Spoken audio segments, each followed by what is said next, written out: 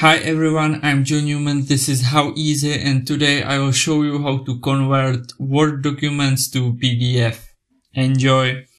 So I have prepared here some document in Word docx and I want to convert it to PDF by Word. So look at this, it's really easy. You need just click in the left side to file and save as. Now easily you just click here, click PDF and save. I create new PDF file, you can check it, it's with full content, you can easily use content menu.